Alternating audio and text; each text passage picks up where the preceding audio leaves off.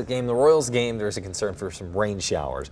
I don't think it's going to rain the, the, entirety of that okay. stretch, you know, from 5 o'clock this afternoon through 9 or 10 o'clock tonight, but there will be some scattered rain showers, and even a few lightning strikes throughout the day. And of course, that's the greater hazard, the lightning. First alert radar this morning, widely scattered showers, downpours, especially on the Kansas side. But you can see some of the uh, heavier pockets of rain lifting just over Kansas City, downtown Kansas City, maybe the west sides up toward Parkville and then just south of the airport up and over the river toward Leavenworth. And those off and on rain showers will continue through the entire day. That's why it's a first alert weather impact day. Severe weather is not expected, so you don't have to be concerned about large hail damaging wind, but there could be some locally heavy rainfall with those downpours. 67 degrees. It's a warm morning. It's a humid morning. You can feel that increase in the humidity this morning.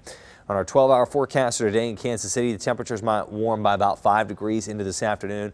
Not much of a warm-up because of the cloud cover and those scattered rain showers expected off and on through the afternoon all the way into this evening. Future scan starting now. I'm going to take this towards sunset. You just see widely scattered showers and maybe even a few thunderstorms. That's 5, 6, 7, 8, 9 o'clock. So that's straight on through Big Slick and the Royals. So if you have plans to head out to either of those ball games, don't panic just yet. Don't cancel your plans.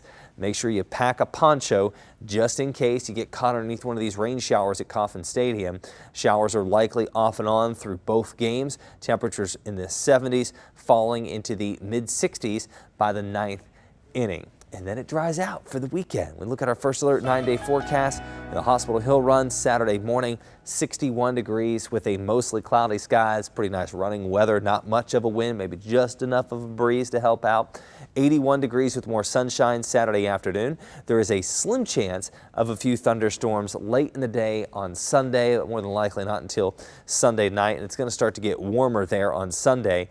More cloud cover on Monday might knock the highs down just a bit with a chance of scattered showers and thunderstorms on Monday and Tuesday. The other thing that you're going to notice next week you might have to prepare for is building heat and humidity. Next week's first week of June, and it's going to feel like it. We're going to have highs in the mid to upper 80s, might even approach 90 degrees in some spots. When you throw in the, the moisture, or the dew point, it might feel like 90 degrees on some of those days, especially later in the week as the clouds clear out with sunshine heading into the next weekend.